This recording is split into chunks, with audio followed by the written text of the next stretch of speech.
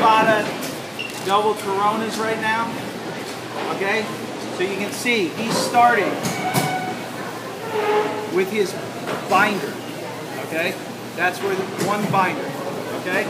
Then he's starting with the base leaf. This is where we start our blends. Okay? Because the size of the blend, the size is a double Corona, he's using two leaves to start. From this base, instead of the entubado, which Willy just showed you, he's beginning to roll to his blend.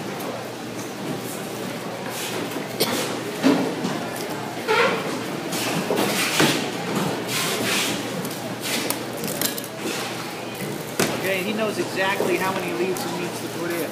Now you guys have seen, you see that the leaves, now he's breaking this, the top part of the leaves off. You guys have had cigars before where you start off and they're, you know, they're really strong and then they tend to mellow out when they might start off a little bit milder and then start to get strong. A lot of that has to do with the placement of those leaves. Yeah.